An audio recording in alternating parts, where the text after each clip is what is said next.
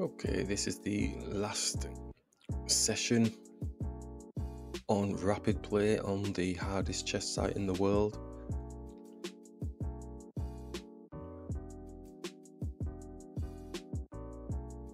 Let's just grab this pawn here, keep everything as simple as possible. As we've done within the beginner tutorial, the um, intermediate tutorial and the advanced tutorial that we've done for ourselves. Just keep things real simple. Only difference is the amount of calculation that you do in the advanced, you know, maximum maybe four. But it's knowing at which stage. Um, I like to keep all three of them in there, you know, looking at the game, saying, well, am I still in the beginner stage here? Because you could miss something thinking too advanced you could miss something that a beginner could actually see. So I'm going to bring the bishop here and attack the pawn because it's got no protection on. It's a usual play for this type of um, opening.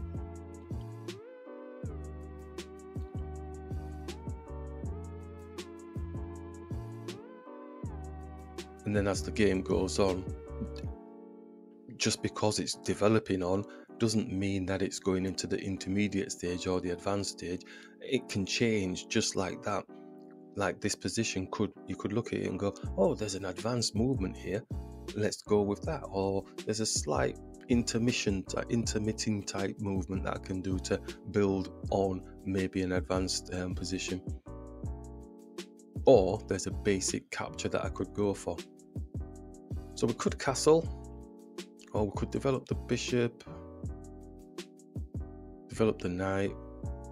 Don't really like this knight being here, but the small move like this is not going to work for us. So we shall just castle.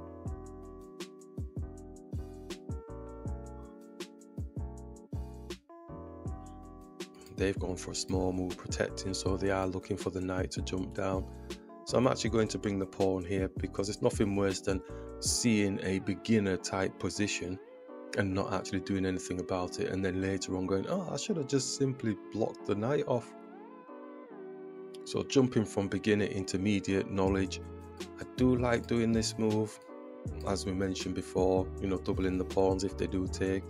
Um, gives us space, but obviously now this pawn is protected by this pawn. So is it the same type of situation? Smaller piece attacking a higher piece can't be wrong, so we could go for that quite easily. Could attack the bishop then, or we could just uh, push here and then attack the bishop. Smaller piece attacking a higher piece. I think they're probably still looking to keep the diagonal x-raying through to our king. Let's push the pawn now to jam in the bishop if they forget themselves probably can expect either this or this. So again, still thinking, okay, beginner level, let's go and attack a higher piece. Let's just keep attacking the higher piece. Or do we go here? The problem with going here is if they do take, we have to take with the bishop. We can't take with the pawn because his rook will take our rook. So there are options here, which is going to be better probably going for the knight, you know. Although going for the knight allows them to actually come and attack our bishop. Could take their knight off the board. Maybe I'm not happy with that. Let's just push on to the bishop. Keep it simple. Keep it beginner level. We could still take the knight off the board here. So I think they'll be wanting to get their knight out. Maybe the bishop's working quite nicely there, though. It's, um... Hmm. So, still thinking of doing this. It's annoying dark square bishop. Is there any creed, anything going here? Getting the rook up. No.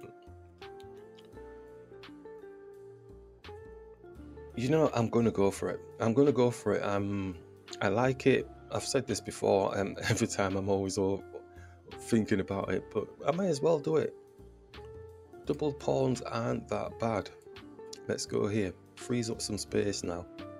Gets rid of the complication of that power base of that bishop. Right.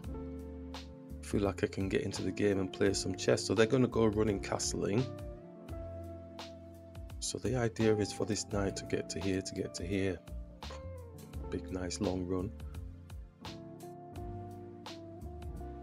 Let's move this knight back to give space for... Oh, it's going to be blocking.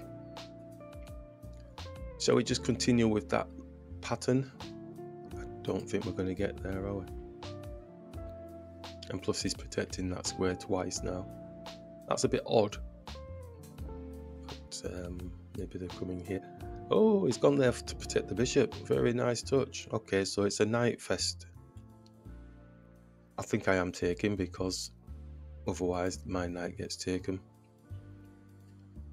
So we can't really continue that because then our pawn doubles on this side. So are we looking now to just get the rooks trying to attempt to own the files? I don't think it's going to stay there too long. So they'll castle. Gives us time to maybe get them doubled.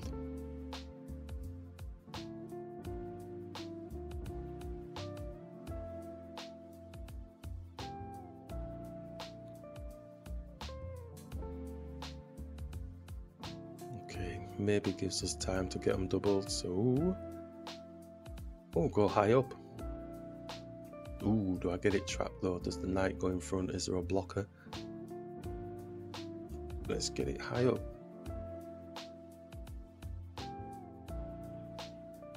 Let's get the raccoon supporting.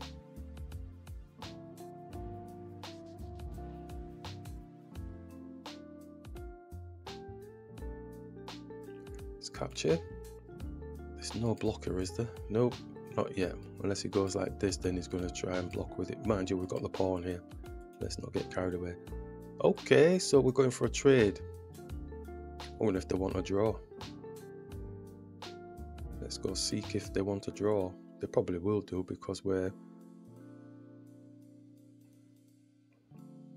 But no, maybe they're going for a win. I did click it, didn't I? waiting for the opponent to respond. Could come here, attack the pawn.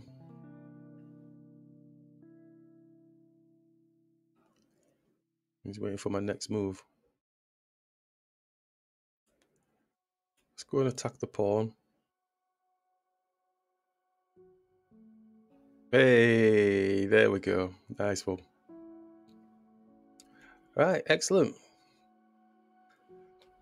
I probably don't need to do any more. I've, for me, it's just for myself, like just showcasing the the answer process within, especially the highest, well, the strongest chess site in the world, as far as I'm concerned. So, um, we've reached our peak on the highest chess site in the world. I'm fairly happy with that um, within the Rapid. So that's it for now for the um, answer process for the hardest chess site in the world. Um, it is possible, but you, you have to really put the time and effort in to improve your game and the quality of your game because they are really strong players on this site. This is the limit for me on this hardest chess site, 1800 is fine for me. It wasn't a rating ladder climb thing, it was just the exercise to look at improving the quality of our game. So I'm really happy and comfortable with the quality of the games that we're playing. Um, they're by no means master level or anything like that, but they are good enough for my casual chess playing. They're good enough for me to play and feel confident that, well, what I'm working on for the long play games does work and it is functional, it's efficient, it's effective, but it's not perfect. Nobody's chess is perfect um, but it really does help me enjoy the games a lot more. So that's me signing out for the longer play games on the hardest chess site in the world.